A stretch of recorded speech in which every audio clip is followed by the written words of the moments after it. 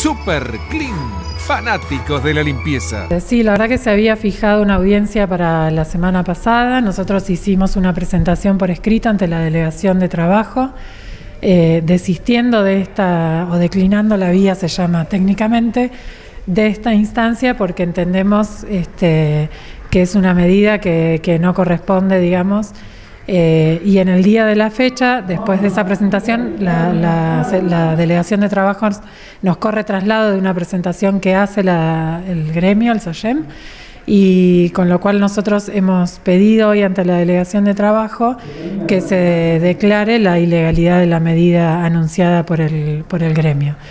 Esto por básicamente por, dos o tres razones, pero que tienen que ver con, lo mismo, digamos, que este, nosotros desconocemos la representación que ejerce en este caso el SOYEM por no tratarse técnicamente de empleados municipales, tal lo define eh, la ordenanza 137, que es el estatuto de obreros y empleados municipales. Eh, con lo cual, digamos, no, no podría el SOYEM ejercer esta representación respecto de los trabajadores. Eh, ese es un punto. Y después entendemos que de alguna manera es una medida eh, que, digamos, que, resulta extorsiva para nosotros y, de, un poco de abuso de, derecho, ¿no? Este, porque está dentro de las facultades conferidas al intendente por la Carta Orgánica.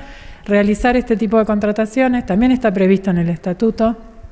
Son contrataciones por tiempo determinado eh, para una tarea específica. Así se hizo con estos preventores.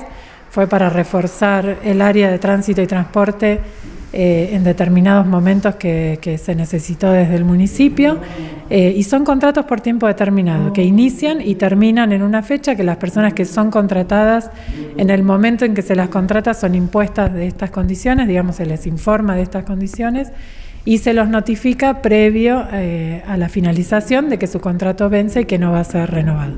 Con lo cual, digamos, no hay nada desde el municipio incumplido en este sentido. ¿No se va a extender el contrato de estas 21 personas entonces? No, no se va a extender. Eh, sí, lo cierto es que el municipio va a tener necesidades continuas como las tiene, es algo normal, digamos, de funcionamiento del municipio, que en determinada época del año, por ejemplo, en estas últimas temporadas que venimos viviendo, eh, con mucha afluencia de turismo, se necesita reforzar. Eh, los preventores en algún momento se, tomaron, digamos, para las playas, para hacer algún tipo de campaña cuando vivíamos el tema del COVID, que, todos sabemos que veíamos los preventores eh, en las playas este, anunciando las medidas sanitarias, digamos, correspondientes, en otros momentos para reforzar y, acompañar, digamos, el trabajo que hacen los inspectores municipales, los inspectores de tránsito me refiero, eh, con lo cual, digamos, está dentro de las prerrogativas del intendente municipal y así se lleva a cabo. Y en este caso entendemos que el gremio se, ha extralimitado, digamos, en, su, en su competencia, ¿no?